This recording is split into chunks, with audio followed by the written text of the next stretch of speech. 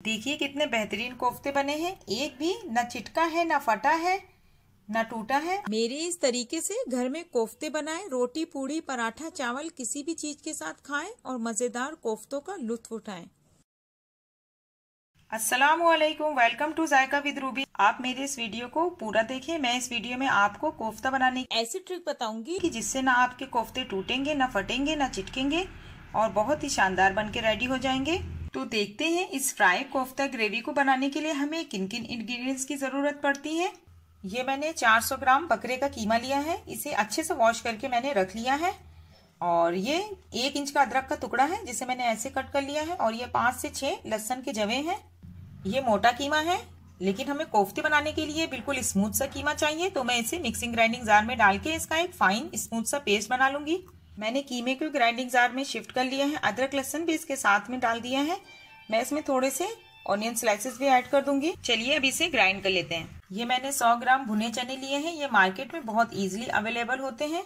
मैंने इन्हें छिले हुए मंगवाए हैं और वैसे अगर ये अगर आपको नहीं मिल रहे हो तो आप छिलके वाले लेकर और इनका छिलका घर में आसानी से हटा सकते हैं। और ये मैंने ग्यारह बारह काजू लिए हैं।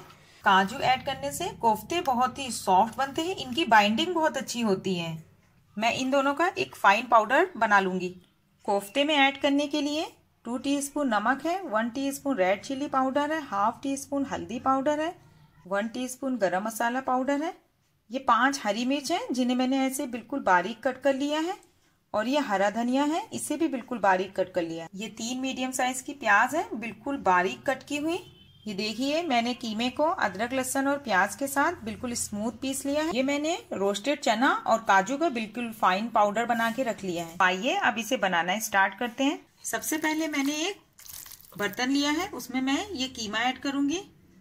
उसके बाद मैं इसमें ये रोस्टेड चना और काजू का पाउडर भी ऐड कर दूँगी, जिसे मैंने बनाया था। फिर डाल दूँगी मैं ये बारीक कटा प्याज। और साथ में ये सारे मसाले, हरा धनिया और मिर्च भी।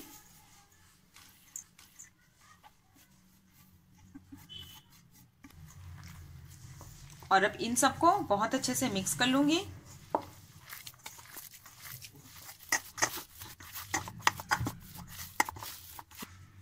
मैं अब यहाँ पे थोड़ा सा मक्खन भी डाल दूँगी। आप इसकी जगह देसी घी या कोई भी कुकिंग ऑयल भी ऐड कर सकते हैं। इससे भी कोफ्ते की बाइंडिंग बहुत अच्छी होती है, जायका बहुत अच्छा आता है। इसकी मिक्सिंग के टाइम मैं यहाँ पे आपको एक टिप्स देना चाहूँगी। अगर आप बिगनर हैं, कोफ्ता पहली बार बना रहे हैं या आपसे कोफ्ते बनाते टाइम फट जाते हैं, चिटक जाते हैं, टूट जाते हैं तो आप अगर अंडा खाते हैं तो आप यहाँ पे एक दो अंडे फोड़ के डाल दें।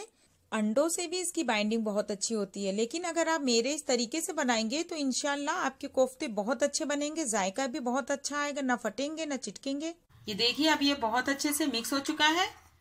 यहाँ पे मैंने लिया है थोड़ा सा पानी एक कटोरी में और पानी मैं अपने हाथ में ऐसे लगाती जाऊँगी।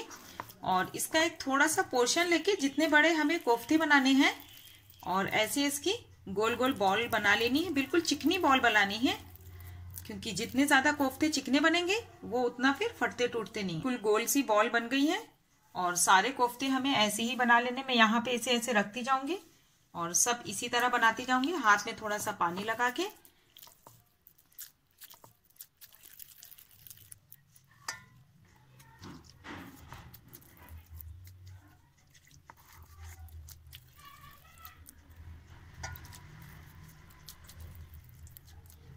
मैंने कोफ्ते की सारी बॉल्स बना ली हैं। आप इनका साइज़ अपने हिसाब से रख सकते हैं। ये देखिए, बिल्कुल चिकनी बॉल्स बनी है। इनशाला ये फटेंगी नहीं। तो अब इन्हें फ्राई कर लेते हैं। मैंने पैन में ऑयल ऐड करके इसे गैस पे रख दिया है गर्म होने के लिए। गर्म हो गया है ऑयल अब मैं इसमें कोफ्ते ऐड कर दूँगी एक एक करके। देखिए, कोफ्ते कितने अच्छे से फ्राई हो रहे हैं। मैंने इनको डालते टाइम फ्लेम को स्लो पे रखा था। अब ये हाई फ्लेम पे फ्राई हो रहे हैं और एक तरफ़ से हल्का सा फ्राई हो जाने पर मैं सारे कोफ्तों को ऐसे पलट दूँगी। मैंने सभी कोफ्तों की साइड चेंज कर दी है। ये देखिए कितने बढ़िया फ्राई हो रहे हैं। इन्हें ऐसे थोड़ा सा स्टर करते रहना है। दोनों साइड से उलट पुलट कर बहुत अच्छे से फ्राई हो गए हमारे कोफ्ते। अब मैं इन्हें निकाल लूँगी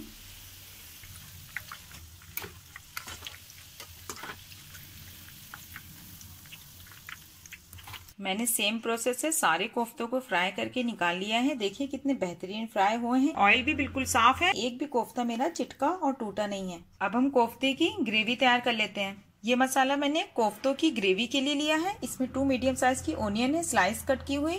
one and half tea spoon नमक है हाफ़ टी स्पून हल्दी पाउडर है half teaspoon Kashmiri red chilli powder है, इसे रेड कलर देने के लिए थ्री टी स्पून धनिया पाउडर है one tea spoon red chilli powder है।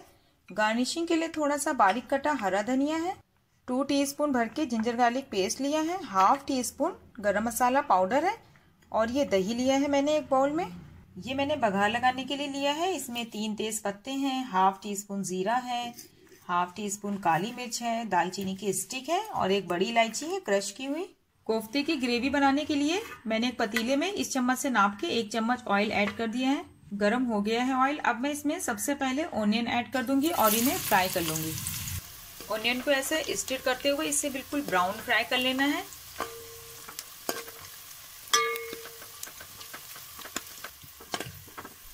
प्याज अच्छे से फ्राई हो गए अब मैं इन्हें निकाल लूँगी। देखिए, मैंने ओनियन निकाल लिए हैं। अब मैं इन्हें ठंडा होने के लिए रख दूँगी। जब ये ठंडे हो जाएँगे तो मैं इन्हें दही के साथ मिलाकर इनका फाइन पेस्ट बना लूँगी, क्योंकि आज मैंने थिक वाली दही ली है, जो इसके साथ पीसने से वो अच्छे से फिट जाएगी। अब मैं इस ऑयल में साबुत गरम मसाला ऐड कर दूँगी। बीस पच्चीस सेकेंड ऐसे स्पून चलाते हुए इसे सॉटे कर लूँगी, जिससे इसका एक अच्छा सा फ्लेवर हमारे ऑयल में रिलीज़ हो जाए।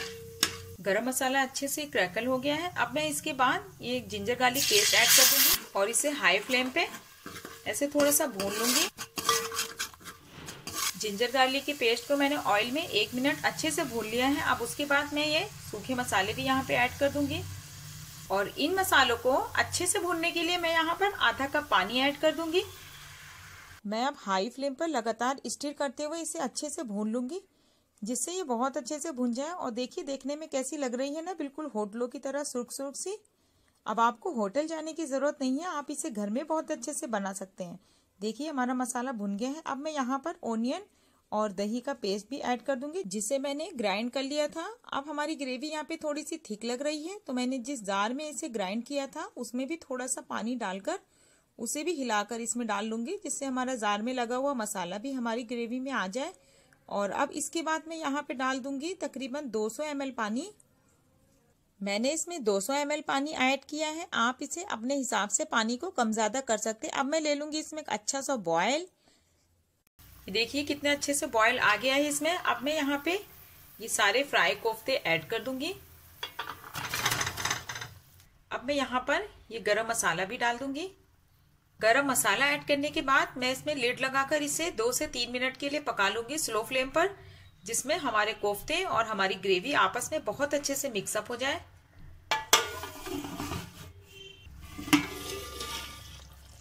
दो से तीन मिनट हो चुके हैं इसे लिड लगा के पकते हुए।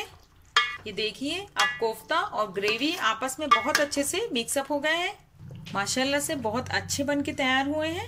यहाँ पे हरा धनिया की गार्निशिंग कर दूँगी। कोफ्ते का सालन अब रेडी है। अब फ्लेम को ऑफ़ करूँगी और इसे कर लूँगी डिश आउट देखिए कितने बेहतरीन कोफ्ते बने हैं। एक भी न चिटका है, न फटा है। न टूटा है। आप मेरे इस तरीके से इसे एक बार अपने घर में ज़रूर ट्राई करें। ट्रस्ट मी फ्रेंड्स बहुत ही औसम टेस्ट आता है इसका। अगर आपको मेरे कोफ्ते का सालन बनाने की रेसिपी पसंद आई हो तो please like comment share and subscribe to my channel तो मिलते हैं फ्रेंड्स नेक्स्ट वीडियो में एक नई रेसिपी के साथ। अल्लाह हाफिज़।